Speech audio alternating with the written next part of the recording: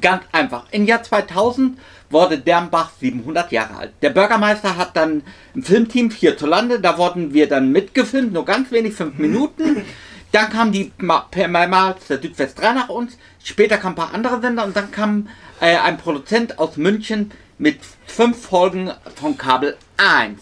Und der sagte zu uns, daraus machen wir eine Dopo, Doku-Soap.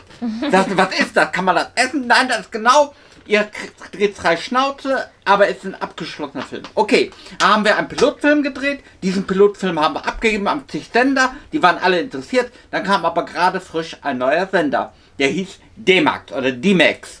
Und die haben gesagt, dann hat er gesagt, das machen wir. Aber das war ein Experiment. Wir wussten ja nicht, dass D-Max Discovery war.